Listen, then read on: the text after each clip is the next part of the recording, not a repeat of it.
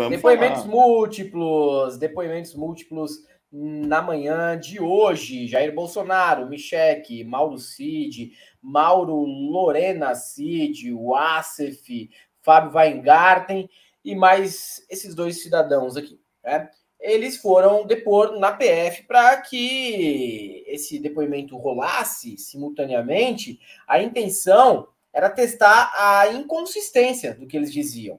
Porém, Michele e Bolsonaro acabaram ficando calados. Isso, ao meu ver, é uma confissão de culpa, Bessie. Ficar calado nesse tipo de depoimento é uma confissão de culpa. E tem também o ex-ajudante de ordens do ex-presidente Bolsonaro, Mauro Cid, que enviou um áudio para o advogado e ex-secretário de comunicação Fábio Weingarten, em 13 de março deste ano, informando que nem sabia que o Weingarten estava aconselhando Bolsonaro no caso das joias. Olha o nível dos caras. Abre aspas. Nem sabia que você estava no circuito. Aí eu falei, pô, se não fosse o Fábio aí, nessa guerra toda aí, o negócio estaria muito mais enrolado. Segundo Weingarten, o áudio diz respeito ao kit rosé da grife de luxo Chopin que estava sendo noticiado pela imprensa. O advogado informou à coluna que não fazia ideia da existência do Rolex ser comprado por Wassif. Outra mensagem que a coluna teve acesso é do dia 9 de março deste ano. Weingarten escreve a CID. Tem que devolver imediatamente. É impressionante como ninguém pensa. Weingarten também foi intimado a depor hoje, mas optou pelo silêncio, por atuar na defesa do Jair. Então, o Weingarten, por incrível que possa parecer, devia ser a pessoa consciente na história. Era o cara que não estava acreditando que eles pegaram esses kits e fizeram um rolo, venderam como se fosse muamba nos Estados Unidos, por incrível que pareça. E aí o Mauro Cid comemorando o surgimento do Weingarten na história para livrar a cara deles, mano. Olha o nível dos mano. Olha o nível deles, comemorando o Weingarten aparecer para salvá-los. É, o, o Asf, por outro lado, abriu mão do silêncio, Bézio. E, cara, uma coisa que me deixa assim é, atônito e, e eu fico assim surpreso é de como o Mauro Cid gosta da PF, de ficar lá. Segunda-feira já tinha ficado 10 horas. Agora não saiu ainda. Sabe, todo mundo já falou, todo mundo já falou, o Acef falou, o Lorena Cid falou e ele. Foram os únicos também que falaram, né? Os outros todos ficaram em silêncio, consentindo ali, né? É, não tendo dando o direito da gente saber a defesa deles, né? Até porque Sim. não tem o que se defender ali. Mas o, Mauro, eu fico imaginando o que, que o Mauro Cid tanto fala na PF. Porque ele chegou nove da manhã, foi o primeiro a chegar e é sempre o último a sair. Ele fica lá, deve bater um papo, deve ter uns amigos ali também, né? Que, é. Porque será que é só depoimento? Ele já foi dez vezes na PF esse ano, cara. Dá depoimento, cara. E ele fica em média 10 horas toda vez.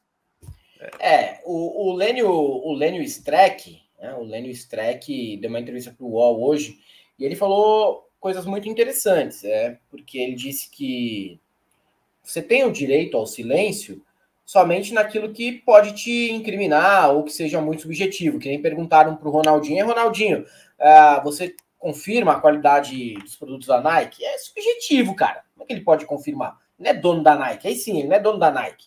Ele não pode. E no que incrimina, ele também né, deve ficar em silêncio. Mas o que o Lênio Streck falou, que o silêncio do Bolsonaro e da Michelle significa que a própria defesa percebeu que o caso é grave e tem problemas. Né? Está meio descarado o que aconteceu. E é um caso que pode sim ter consequências penais, criminais e levar o Bolsonaro e a trupe dele para a prisão. No entanto, ele ressalta o seguinte: se o Bolsonaro não está falando, se a Michelle não está falando, se o Weingarten não está falando, o mesmo não pode ser dito para o Mauro Cid, o pai dele e outras pessoas que perceberam que podem ser abandonadas no meio do caminho e optaram por um outro tipo de defesa. Então, óbvio, né, que o Bolsonaro está sabendo que a situação dele nesse caso específico e em outros não é fácil e a Michelle está acompanhando o marido no silêncio, o Mauro Cid, para tentar salvar a pele dele, já que foi abandonado mesmo pelo mito, está falando e dizem que está em processo de delação premiada, pelo menos o início de uma delação premiada. Vamos ver o que vem. Imagina o medo dos Bolsonaros, da, do, do Jair e da Michelle, sabendo que o Mauro Cid tem falado todo momento muito ali na PF, eles não sabem o que o Mauro Cid está falando. Né? Porque a partir do momento que incriminou o pai dele, o Lorena Cid, é, ele decidiu que ia falar, né? que não ia ficar mais calado e que ele ia dar o nome aos bois.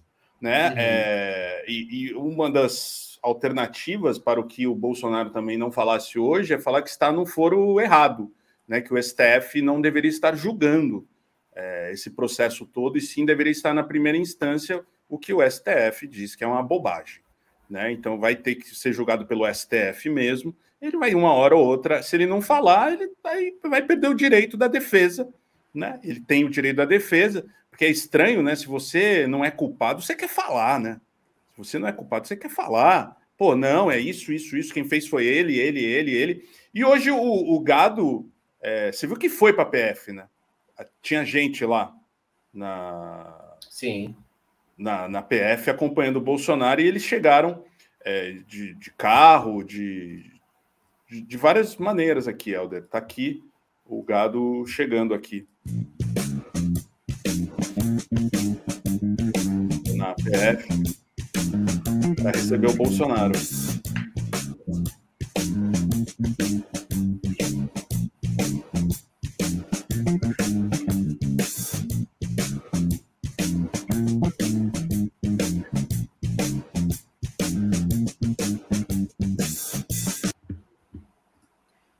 Bem, eu gostava mais quando eles ficavam na frente do caminhão, mas tá bom também.